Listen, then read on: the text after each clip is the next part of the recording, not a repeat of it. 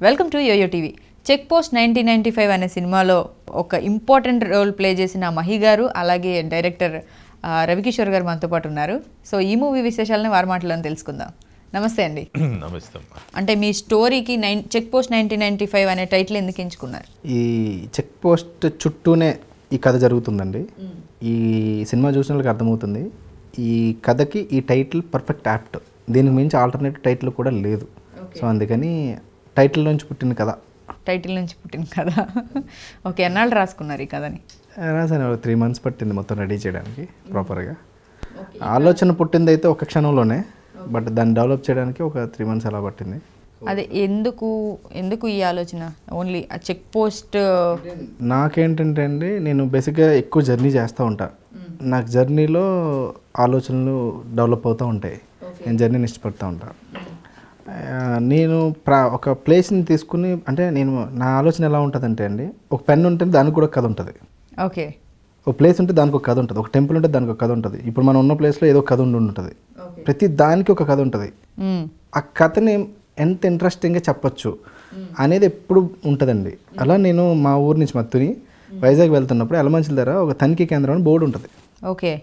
అది చూసి అది చూసిన ప్రతిసారి నాకు దీని మీద ఒక కథ రాయాలని ఉండేదండి. ఓకే. ఎందుకని ఆ కథ ఆ టైటిల్ నచ్చిందా? టైటిల్ కాదు ఆ ప్లేస్ అంటే ఇక్కడ ఎంత జరుగుతుందండి ఒక చెక్ పోస్ట్ అంటే ఎంతమందిని ఒక పారి పారిపోతున్న లవర్స్ ఆపొచ్చు చెక్ ఒక ఏదైనా స్మగ్లింగ్ చేసేదాన్ని ఆపొచ్చు. సమ్ ప్రతి దానికి ఒక గేట్ అది. అంటే కదిలే ప్రపంచాన్ని ఆపుతుంది. సో అలాంటి దాన్ని పాయింట్గా తీసుకుని మనం కథ రాసుకుంటే అందుకనే నేను పీరియాడిక్కి వెళ్ళాను అంటే నైన్టీన్ నైంటీ ఫైవ్ బ్యాక్డ్రాప్కి వెళ్ళాను అనమాట అండి సో దాని మీద నేను కథ టైటిల్ పెట్టాను. అంటే ఫస్ట్ పెట్టిన టైటిల్ తనిఖీ కేంద్రం అండి. బట్ మాది నాలుగు లాంగ్వేజ్లో రిలీజ్ అవుతుంది. సో అన్ని లాంగ్వేజ్లకి యూనిక్గా ఉండాలని చెక్ పోస్ట్ అని మార్చాను కమింగ్ టు మహి గారు ఉమామహేశ్వర హాస్పిటల్ మహి ఎప్పుడో పాత చిన్నప్పుడు అంటే మిమ్మల్ని చూస్తుంటే అంత హ్యాండ్సమ్గా ఉన్నారు కాబట్టి మాకు అలాగే పిలవాలనిపిస్తుంది. ఏంటి? నేమ్కి ఏదన్నా స్టోరీ ఉందా ఏంటి? వద్దంటున్నారు. అంటే ఇప్పుడు అది గుర్తు తెచ్చుకొని అంత హుషారుగా కనపడినా పెద్ద క్రిమినల్ లాయర్ అని విన్నాం మిమ్మల్ని. పెద్ద ఏం కాదండి జస్ట్ లాయర్. సో ఏంటి మీ దగ్గరికి వచ్చిన క్లయింట్స్ పాత్రలే పోషిస్తూ వస్తున్నారా? అలాంటి క్యారెక్టర్స్ సెలెక్ట్ చేసుకుంటున్నారా? నన్ను సెలెక్ట్ చేసుకుంటున్నారు. నేను సెలెక్ట్ చేసుకునే ఛాన్స్ లేదండి. ఓకే. అందరూ "ఏ, ఇలాంటి వాళ్ళందరూ నన్ను అలా చూస్తున్నారు. అలా చూస్తున్నారా? ఓకే. ఎలా ఉండబోతుంది ఈ సినిమాలో మీ పాత్ర? యా వెరీ ఇంట్రెస్టింగ్ అండి. అంటే ఇన్ఫ్యాక్ట్ నేను ఊహించలేదు. నేను ఊహించలేదు. ఫస్ట్ ఆఫ్ ఆల్ మీకు ఏదైనా చెప్పాలంటే ముందు నేను ఊహించాలి. సో నేను ఊహించలేదు. క్యారెక్టర్ అట్లా ఉంటుందని. ఓకే కథ చెప్పినప్పుడు మీ పాత్ర గురించి చెప్పినప్పుడు మీకు ఎలా అనిపించింది? అండ్ ఫస్ట్ నాకు మేమిద్దరం ఫస్ట్ దసపిల్ల హోటల్లో కూర్చున్నాం. బ్రేక్ఫాస్ట్ మార్నింగ్ ఎర్లీ మార్నింగ్ మాట సిక్స్ ఓ క్లాక్ ఆ కూర్చొని కథ స్టార్ట్ చేసాను నేను ఫస్ట్ కథ నాకు నాకు చాలా ఇష్టం. సినిమాలు అంటే చాలా ఇష్టం. కోర్టులో కూడా వాయిదాలు తొందరగా పడిపోతే అటు నుంచి అటు సినిమాకి వెళ్ళిపోతాను. వెరీ మచ్ సినిమా లవర్ అనమాట నేను. అంటే ప్రతి సినిమా నేను ఈ మూవీ ఫీల్డ్లోకి రాకముందు అసలు ప్రతి సినిమా చూస్తాను. సిటీలోకి వచ్చిన ప్రతి సినిమా చూస్తాను. బాగా నచ్చిన సినిమా ఇది. నాకు నచ్చని సినిమా ఇది లేదు. నచ్చని సినిమా బికాజ్ ప్రతి మూవీలో ఒక స్పెషాలిటీ ఉంటుంది. ఓకే. ప్రతి మూవీలో ఒక స్పెషాలిటీ ఇప్పుడు మీరు ఒకటి యాక్షన్ మూవీ అయితే ఒకటి కామెడీ మూవీ ఒకటి sentiment so different aspects so ఒక్కొక్కరికి ఒక్కొక్క పాయింట్ ఆఫ్ వ్యూలో మూవీ తీస్తారు. నచ్చకపోవడానికి కారణం ఏంటంటే మనం ఆ పాయింట్ ఆఫ్ వ్యూలోకి వెళ్ళలేక. Okay that's all but director point of వ్యూలోకి వెళ్ళగలిగితే ప్రతి మూవీ నచ్చుతుంది. ఓ వండర్ఫుల్గా చెప్పారు. అసలు నిజానికి ఈ సినిమా అంటే చాలా మంది సినిమా చూసినప్పుడు అది బాగాలేదు ఇది బాగాలేదు అంటారు. యాక్చువల్గా వాళ్ళకి కనెక్ట్ అవ్వదు అది. వాళ్ళు యాక్షన్ థాట్లో ఉన్నప్పుడు లవ్ నచ్చదు. లవ్ థాట్లో ఉన్నప్పుడు కామెడీ నచ్చదు. కామెడీ థాట్లో ఉన్నప్పుడు సెంటిమెంట్ నచ్చదు. బట్ మనం మూవీకి వెళ్ళేటప్పుడు అసలు ఈ మూవీ ఏంటి? డైరెక్టర్ థాట్ ఏంటి? అని వెళ్ళి కూర్చోగలిగితే డైరెక్టర్ థాట్లో నుంచి సినిమా చూడగలిగితే నీకు ఎవ్రీ నాట్ ఈవెన్ మూవీ అండి. ప్రపంచంలో ప్రతి మనిషి నచ్చుతాడు. ఎందుకంటే ఎగ్జాక్ట్లీ బాగా చెప్పారు. అది అంతే వెరీ సింపుల్ సో అలా నాకు సినిమాలు బాగా నచ్చుతాయి. అన్నీ ఎక్కువగా చూస్తాను. సో అన్- బై- అందుకని నేను చాలా ఇంట్రెస్ట్గా వింటాను రవి. నాకు స్టోరీ మొత్తం చెప్పు. నా క్యారెక్టర్ కాదన్న. టూ అవర్స్ నెరేషన్ విన్నారు complete movie. Okay. First day చూడగానే అనుకున్నాను. రవి నువ్వు అనవసరంగా ఇది ఓటీటీకి చేస్తున్నావు. ఇది థియేటర్కల్కి చేయాల్సిన బిగ్ స్క్రీన్లో చేయాల్సిన సినిమా. నువ్వు ఓటీటీకి చేస్తున్నా ఒక్కసారి మళ్ళీ ఆలోచించాను. లేదన్నా we are fixed fixed budget and we prepared చేయన్న please అన్నాడు. అంటే భలే ప్లీజ్ అని అడగక్కర్లేదు బాబు. చాలా మంచి మంచి కాన్సెప్ట్ మంచి రోలు ఖచ్చితంగా చేస్తాను. అది ఎన్ని రోజులు ఉంది మీ క్యారెక్టర్? మొత్తం ఆల్మోస్ట్ ఉంటుంది. అంటే ఒక ట్వెల్వ్ డేస్లో నుంచి కంప్లీట్ చేసిన ఎయిట్ డేస్ అలా ఉంటుందండి. అంటే మూవీ అంటే ఇందాక మీరు తనిఖీ కేంద్రం అనుకుంటున్నారు కదా? ఇన్ఫాక్ట్ తనిఖీ కేంద్రం అనేది ఒక వెసల్ అయితే అందులో అన్ని పెడతాం కదా? అది మోస్తుంది అనమాట తనిఖీ కేంద్రం అనే పేరు మమ్మల్ని అందరినీ మోస్తుంది. మోస్తుంది ఓకే. సో దట్స్ వై తనిఖీ కేంద్రం ఈజ్ యాప్ట్ ఫర్ దిస్ అసలు మీ సినిమా ఇండస్ట్రీలో మీ జర్నీ ఎలా స్టార్ట్ అయింది? మీరు లాయర్గా ఉన్నారు కదా. ఒక అడ్వకేట్గా పనిచేస్తూ ఇది ఎక్కడ సింక్ లేని ప్రొఫెషన్ కదా. ఒక చిన్న పెట్టకథ ఒకటి ఉందండి. మా నాన్న చెప్పేవాడు. అది అందరికి తెలిసిందే. ఒక పెద్ద నది ఉంటుంది. నది దాటి అవతలకి వెళ్తే అక్కడ ఒక మంచి గోల్డ్ ఏదో డైమండ్ ఉందిరా. ఎవరు దూకి బాగా హెవీగా ఫ్లో అవుతుంటుంది. ఎవరు దూకి అవతలకి వెళ్తే వాళ్ళకి అది దొరుకుద్ది. బట్ ఎవరు సాహసం చేయరు. ఎందుకంటే చచ్చిపోతారు కానీ హండ్రెడ్ పర్సెంట్ చచ్చిపోతారు. ఎందుకంటే దానికన్నా ప్రాణం వాల్యుబుల్ కాబట్టి ఆవిడ దూకడు. ఒకడు దూకేస్తాడు. ఈదుకొని అవతలకి వెళ్ళిపోతాడు. ఆడికి అది దొరికేస్తుంది. అందరూ అప్పుడు హీరోయే కదా ఆబ్వియస్లీ అందరూ అన్నీ బరు నువ్వు ఎంత సాహసం దూకారు? ఎవడరా నన్ను ఎవడానికి నెట్టాడు? అలా నన్ను నెట్టారండి ఇందులోకి. ఓకే అలా నెట్టారు. మీరు నెట్టబడ్డారు. నేను రాలేదు. ఎవరు ఆ నెట్టబడ్ నెట్టిన వ్యక్తి ఎవరు? Obviously care of Kancharapalem director Venkatesh Maha. అసలు మిమ్మల్ని ఎందుకు చూస్ చేసుకున్నారు ఆయన? ఆయనకి మీకు పరిచయం ఉందా అంతకుముందు? అంటే ఫస్ట్ యాక్టర్గా చూస్ చేసుకోలేదండి. ఆయన ప్రాజెక్ట్కి హెల్పర్గా యూస్ చూస్ చేసుకున్నాడు ఫస్ట్ అంటే కంచరపాలెం ఏరియాలో కుర్రోళ్ళు నాకు బాగా సన్నిహితం.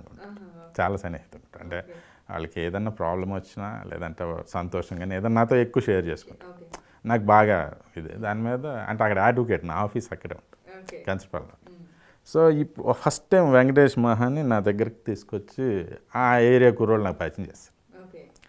చేస్తే వాళ్ళు అందులో అందులో ఒకడు నాకు పరిచయం చేసి నన్ను మావయ్య అని పిలుస్తాడు. అప్పటి నుంచి ఇతను కూడా నన్ను మావయ్య అని పిలవటం మొదలుపెట్టాడు. మీరు యూనివర్సల్ మామయ్య అయిపోయారు. తన వాళ్ళకి. వాళ్ళకి. బేసిక్గా అందరికి బ్రదర్ వాళ్ళకి మావయ్యని అయిపోయాను. సో ఏం కావాలి నాన్న? నేను ఫైనాన్షియల్గా అయితే I'm not that much sound నేను అంత చేయలేను. నీ ఏమి ఎక్స్పెక్ట్ చేస్తాను అంటే ముందు ఒక షెల్టర్ లేదా పోలీస్ పర్మిషన్స్ ఇవి. ఓకే డన్ షెల్టర్ అంటే నా ఆఫీస్ ఇచ్చాను. షూటింగ్ అయినా ఫోర్ అరౌట్ ఫోర్ మంత్స్ నా ఆఫీస్లోనే ఉన్నారు. ఓకే ఫస్ట్ నన్ను ఛాంబర్ నుంచి హాల్కి షిఫ్ట్ చేశారు. హాల్ నుంచి మా ఇంటికి షిఫ్ట్ చేశారు. ఆఫీస్ మొత్తం అలా ఆక్యుపై చేసుకున్నారు సో అలా ముందు ఆఫీస్ పోలీస్ పర్మిషన్స్ అనేటప్పటికి చాలా చిన్న సినిమా అది. ఇండిపెండెంట్ మూవీగా తీస్తున్నారు. పర్మిషన్స్ ఇవన్నీ చాలా ట్రబుల్ అంటే చిన్న సెట్టింగ్ పెట్టుకుని మనం నాకు కొంచెం అడ్వకేట్ని కదా ఈ పోలీస్ వీళ్ళు.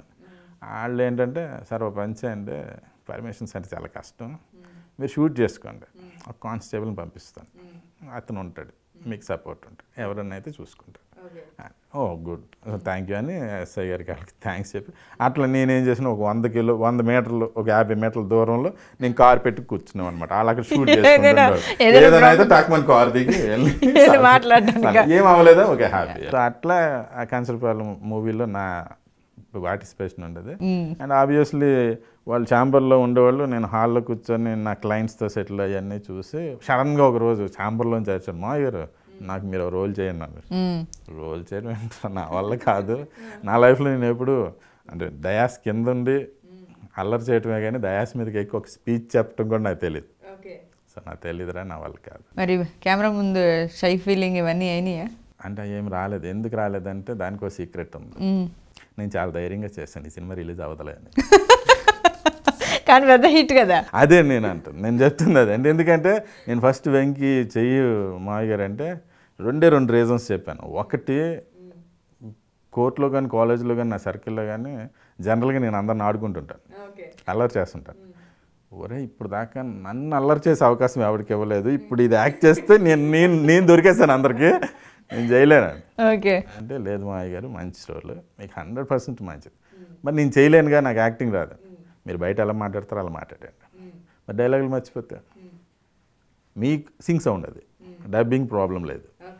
సింగ్ సౌండ్ అదే రికార్డ్ మీరు అక్కడ గ్యాప్ ఇవ్వకుండా ఆ పాయింట్కి మీరు ఏం మాట్లాడగలిగితే అది మాట్లాడేయండి నా డైలాగ్స్ గుర్తు పెట్టుకున్నంత వరకు పెట్టుకోగా అని. ఓకే ఓకే డా అలా అయితే ఓకే మరి నువ్వే చూసుకో బాధ్యత నీదే. ఎస్ ఇంకా అంతే.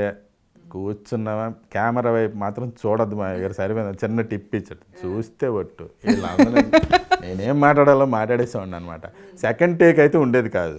లాస్ట్లో అడిగాను నేను. రానా గారు వీళ్ళు కూర్చున్నప్పుడు కూడా అడిగాను నేను మా ఇంటరాక్షన్లో వెంకీ నాకు ఒకటి చెప్పు నువ్వు ఫస్ట్ టేక్ ఓకే అంటున్నావు అంటే ఇంక ఈడు ఎంతకైనా చెయ్యట్లేని ఒప్పుకున్నావా? ఏం ప్రాబ్లం అంటే నాకు కావాల్సింది వచ్చింది మా దగ్గర అందుకని వదిలేస్తాను నేను అన్నాడు.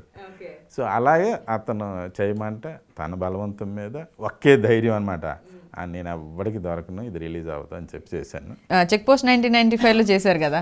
మళ్ళీ తర్వాత అప్పుడు అప్పుడేలాగా? అంటే అప్పుడు కాన్ఫిడెన్స్ వచ్చింది. అప్పుడు కాన్ఫిడెన్స్ ఇప్పుడు తెలుగు తమిళ సినిమాల్లో బిజీగా ఉన్నారా? అంటే తమిళ్ళో డేట్స్ అడుగుతున్నారు. ఒకటి నాకు డేట్స్ ఇంట్రాక్షన్ కుదరక చేయలేకపోయాను. ఇప్పుడు వెయిటింగ్ దే ఆర్ డేట్స్ కోసం. So waiting. నెక్స్ట్ మంత్లో నాకు ఇంపార్టెంట్ మూవీ ఒకటి ఉంది.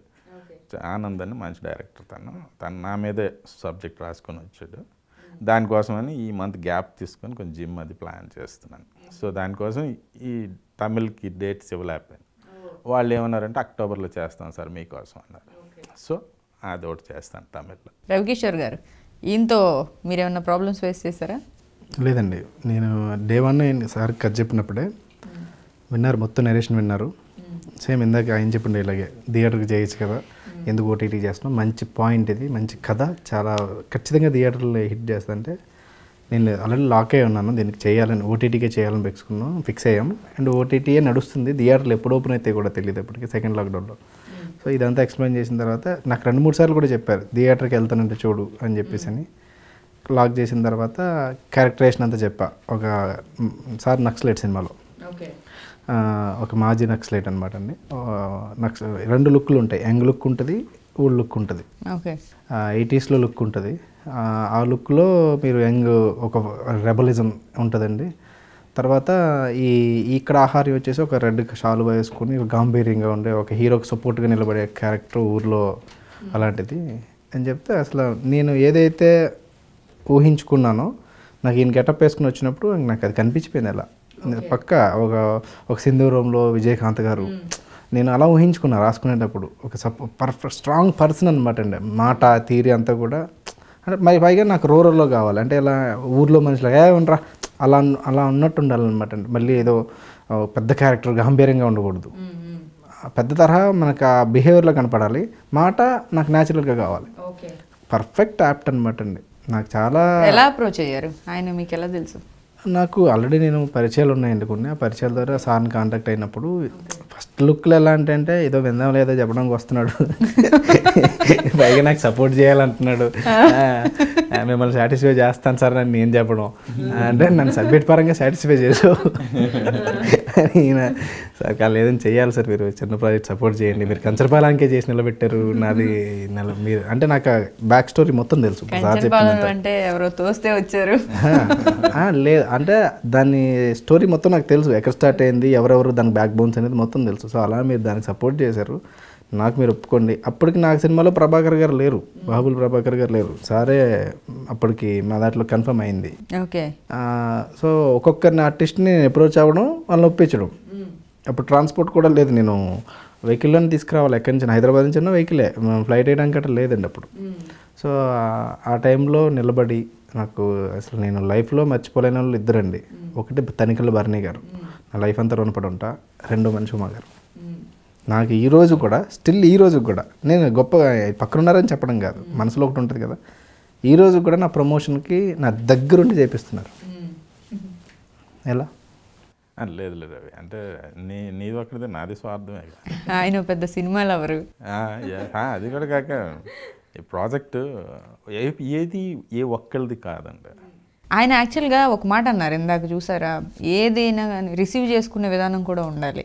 సో అది మనం అది చాలా గ్రేట్ థింగ్ అయితే అసలు యాక్చువల్గా ఆయన చెప్పిన పాయింట్ అనేది చాలా తక్కువ మంది అబ్జర్వ్ చేస్తారు అది. లేదు అంటే అని అంటే నేను ఒకటి నమ్ముతాను. ఇప్పుడు ఒక చెట్టు బతకాలంటే నీళ్ళు కావాలి వెలుతురు కావాలి నేల కావాలి. అర్థమవుతుందా? దాని మీద డిపెండ్ అయ్యి ఇంకొక యానిమల్ బతుకుతుంది. యానిమల్ మీద డిపెండ్ అయ్యి ఇంకొకరు బతుకుతారు. వాళ్ళ మీద డిపెండ్ అయ్యి ఇంకోళ్ళు బతుకుతారు. వాళ్ళు మళ్ళీ అల్టిమేట్గా మళ్ళీ చెట్టు వాళ్ళ మీద డిపెండ్ అయ్యి బతుకుతుంది. సో ఇట్స్ ఈ సర్కిల్ ఎవ్వరు ఏ సపోర్ట్స్ లేకుండా ఈ భూమి మీద ఒక చిన్న సూక్ష్మజీవి కూడా లేదు. సో ప్రతిదీ ఇంటర్లింక్డ్ ఇది ఒక డైరెక్టర్ సినిమా కాదు ఒక ప్రొడ్యూసర్ సినిమా కాదు ఒక యాక్టర్ సినిమా కాదు ఒక ప్రేక్షకుడి సినిమా కాదు. ఇట్స్ ఇంటర్లింక్డ్ సో అందరిది ఈక్వల్ రెస్పాన్సిబిలిటీ షుడ్ ఫీల్ నేను ఈరోజు ఇక్కడ ఉన్నాను. ఎగ్జాక్ట్ నిన్న మొన్న నైట్ హైదరాబాద్ నుంచి మొన్న నైట్ ఫ్లైట్కి నేను వైజాగ్ వెళ్ళాను. నిన్న మార్నింగ్ మళ్ళీ రవి అన్న ఇలా చేయాలి? సరే డన్ అని చెప్పేసి ప్రొడ్యూసర్ నేను నాకు అప్పటికప్పుడు ట్రావెల్ ఏంటి? కార్ వేసుకుని వెళ్ళిపోదాం రైట్ డన్ వైజాగ్ నుంచి. ట్రావెల్ నేను ప్రొడ్యూసర్ గారు వచ్చు. సో ఫినిష్ అంటే దానికి ఏమంటానంటే ఇప్పుడు నేనేదో నేను ఉద్ధరించడం అయితే కాదు. ఇట్స్ ఈక్వల్ డిపెండెన్స్ మిగతా సినిమాల్లో ఎలాంటి క్యారెక్టర్స్ చేయాలని అనుకుంటున్నారు ఇంకా ఫ్యూచర్ ఫిల్మ్స్లో లేదన్న నాకు ఆ ఛాన్స్ లేదు.